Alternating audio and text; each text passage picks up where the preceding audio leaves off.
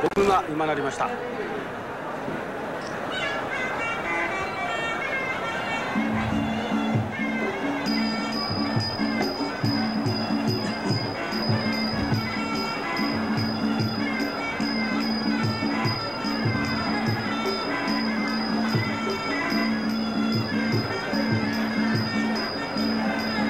この先生はねあの第3試合目ですかこの試合はね、第3試合目というとですねメインイベントが第5試合ですから、まああの準セミファイナルと言ってもいいんですかね。そうですね。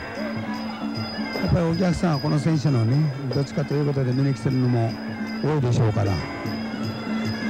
まあやっぱりパンチから下へ行きましたね。チャンピオンまあこの第1ラウンドというとですねやはりあの前哨と前哨戦ということで相手の出か出方を伺うと。そうです。お互いが相手のね何をやってくるかということをじっと伺ってるわけですよ、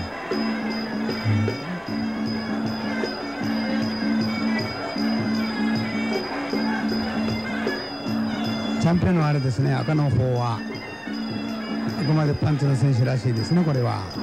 えーだからパンチが捉えることができるか青がね、これをさばききれるかというところが焦点じゃないですか。ね。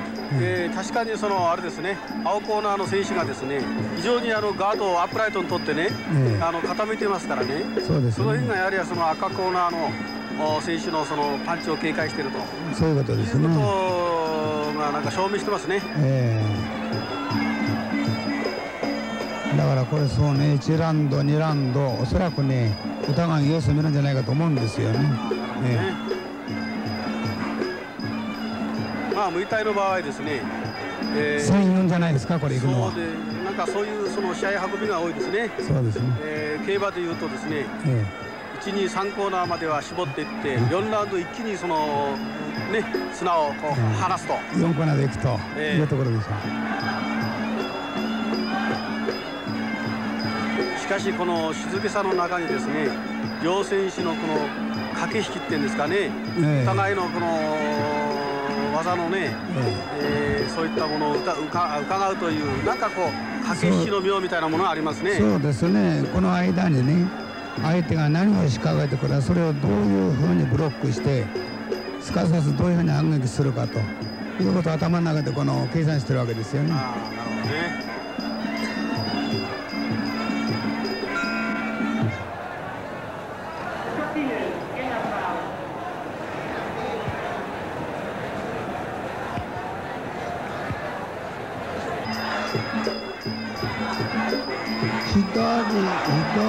ですかね。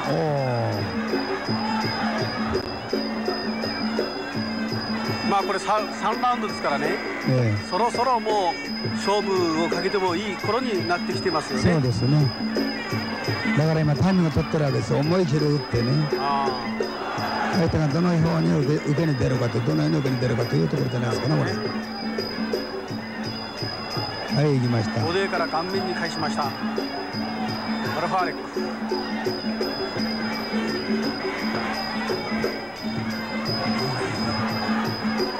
右のストレートから左のボテ右と返してますね。早く早く返さないとこれねペース取られますよ。しかしこの我々日本人から見るとですねパンチがですね入ってもあまりお客さんはわーっと言わないですね。そうですね。蹴りが入るとあの一発入るとわーっと言いますけど。あのこちらのルールでね、えー、やはり蹴りの方が採点が高いわけですよ。しかもロイルミドルミドルのキックとあのハイキックということでね、えー、パンチはねさほどにね点数にならないんですよね。大きくパンチってね。だからパンチの選手はあくまでダウン取るか、起用するかということ以外にないわけですだからパンチの選手ってのは思い切りいくわけですよ。切りならねちょっとの差でもねやはり取るわけですよ。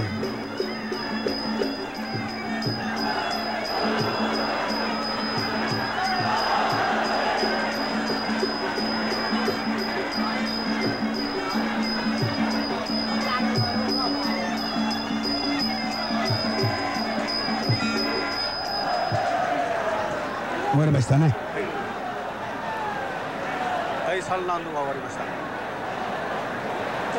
まあここまではよく入りましたですね。これもう1万人は超えてるでしょう。1万は超えてますね。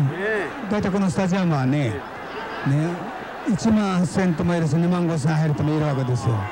だからねそのあのお客さんの入る場合によってね全然椅子がね固定されてないですからあの客席が、はい、いくらでも詰めろ詰めろ詰めろ詰めろでねいっぱいになってくわけですよ。なるほど。入るとだからこれね2万5本ともやるわけですね。普通満杯で1万8000と。7000から8000だと。いうことなんですよね。なるほどおそらく今日はそうですね。1万2000入ってんじゃないですか。ここは消防条例とかそういうのはあんまり関係ないんですね。関係ないですよ。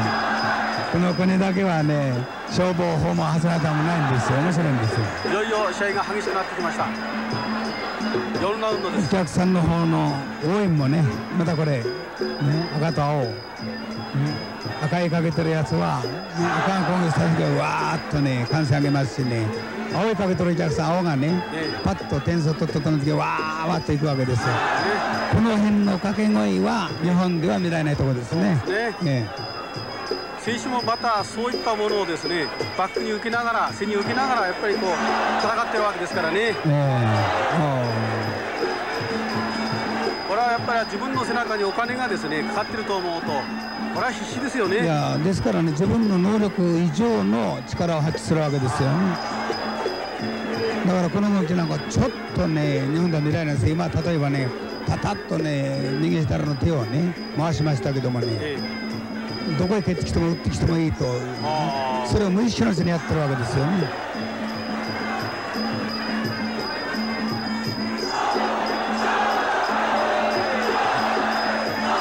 蹴られたらすぐ蹴り返す蹴り返さないとそこで待つとねこれが点数につながらないわけですよ。もう確かに打たれたら必ず打ち返してますからね。そうそうそうそう。それとなと採点する方も難しくなるわけですよ。一方的に1ラウンドあの1分だけね赤が攻撃して2分間の間は青が攻撃したというようなことの採点の仕方だと難しいわけですよ。だから一本一本自分が有利に、ね、採点されるのにね。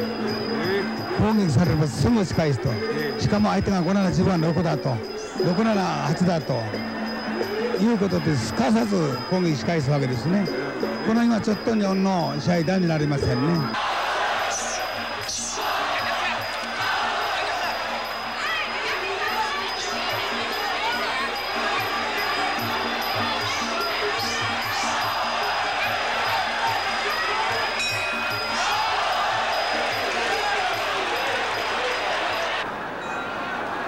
部は最終ラウンドに打ち込まれました。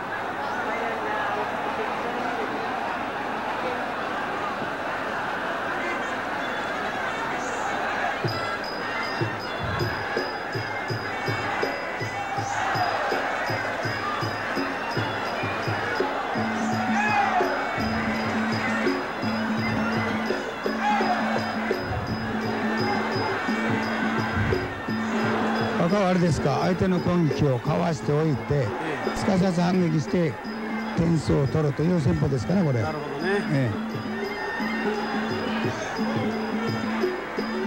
え、自分の方が手数が出てるんだと、いうことをねアピールするためにこれをすかさずにね、手でそれからパンチと。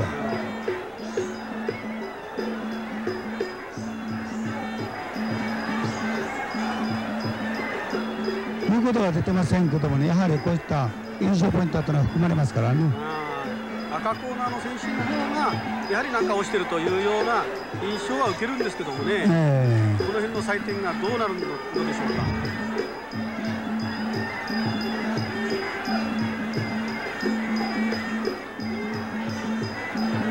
我々の目から見てはこの辺このまでこれまではまだ決定的なポイントを両者とも奪ってはおりません。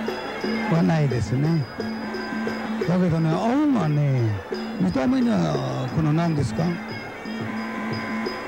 としかし青子姿勢だということなんだけどもねなんか余裕があるんですよねこの姿勢に。だか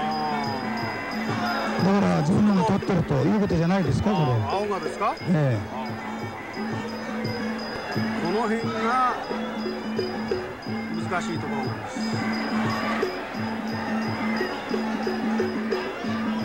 青コーナーのカルハート選手あるいはあポイントを取ってるのでしょうか。あまり攻めません。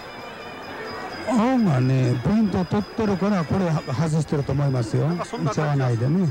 うん、アルハンレックがパンチで追いかけます。